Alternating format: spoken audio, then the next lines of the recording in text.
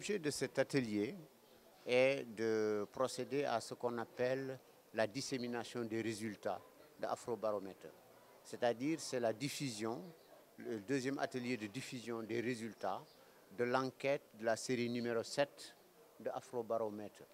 Afrobaromètre est un réseau de 36 pays africains, euh, francophones, lusophones et anglophones, euh, où on fait régulièrement des recherches tous les 16 ou 18 mois sur tous les aspects de la vie publique de façon générale.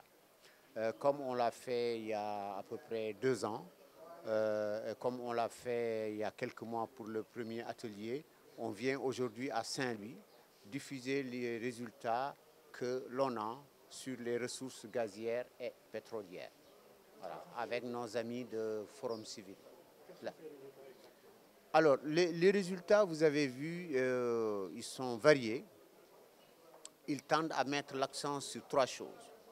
Euh, D'abord, l'objectif, c'est de dire effectivement ce que les Sénégalais pensent des découvertes sur le gaz et le pétrole.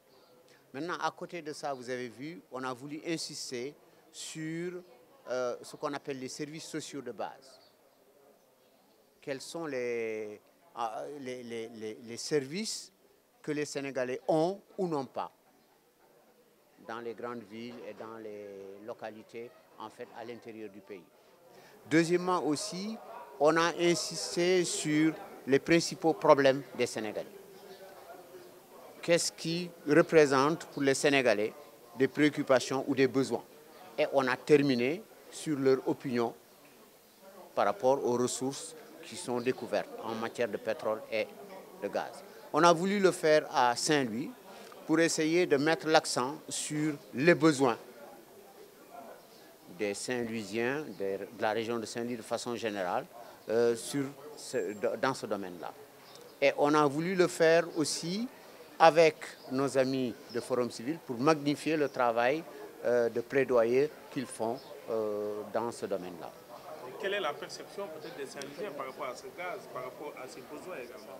Alors, euh, la perception, c'est que, premièrement, sur l'espoir que suscitent ces découvertes-là, les Saint-Louisiens, comme la plupart des Sénégalais, ont bon espoir que ça va améliorer leurs conditions d'existence.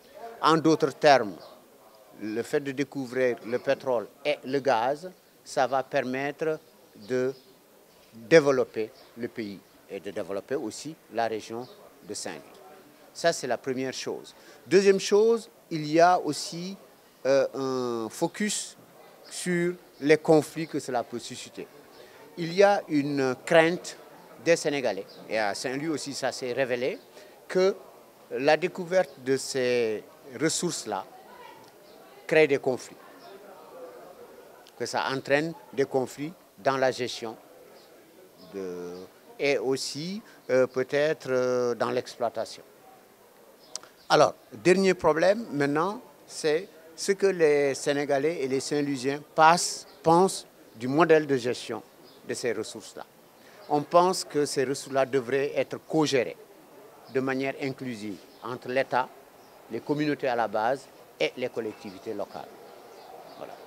Et vos recommandations par rapport à ça? Euh, Alors, nos recommandations, je, voudrais d'abord dire que la politique de Afrobaromètre, c'est de se garder de donner des leçons euh, ou de, donner des indications. Nous, notre rôle en tant que chercheurs, c'est de dresser des constats.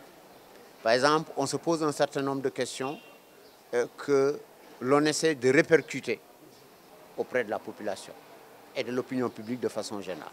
Par exemple, on pose une question sur quelque chose que l'on pressent comme être une préoccupation ou un problème. On va le vérifier, on dit voilà ce que donnent les résultats. Maintenant, euh, sur cette thématique précise-là, un, je voudrais tout simplement euh, revenir sur les conclusions en disant que, un, les Sénégalais euh,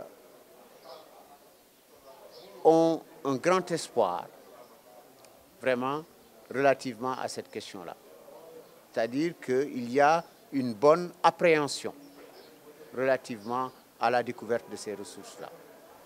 Mais il y a un certain nombre de craintes quand même et de préoccupations. Alors, relativement à cela, on peut modestement dire que les pouvoirs publics doivent comprendre qu'il y a un grand espoir qui est placé dans ces nouvelles ressources-là. Mais il faudrait euh, peut-être beaucoup discuter avec la population. Tout à fait. Nous, nous avons la chance, au niveau de Saint-Louis, de bénéficier vraiment de l'appui du conseil de l'université, des professeurs de l'université de Gaston Berger.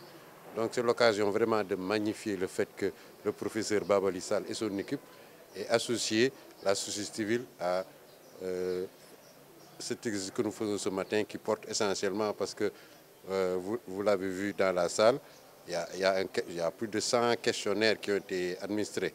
Mais euh, M. Babali Sall et son équipe ont bien voulu faire un focus sur l'attente des Sénégalais par rapport à la prochaine exploitation du gaz les attentes des Sénégalais et leurs peurs et les inquiétudes.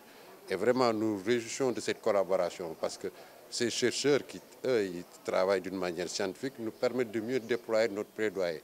Parce que nous visons tous qu'il y ait un consensus fort sur la gestion à venir de ces hydrocarbures. À partir de ces arguments, je dis scientifiques, nous pourrons mieux affiner notre plaidoyer auprès des pouvoirs publics. Je dis, voilà l'attente des Sénégalais, voilà ce que pensent les Sénégalais pour aller vers une gestion inclusive de ces hydrocarbures au bénéfice exclusif de nos populations et faire tout pour atténuer ces craintes.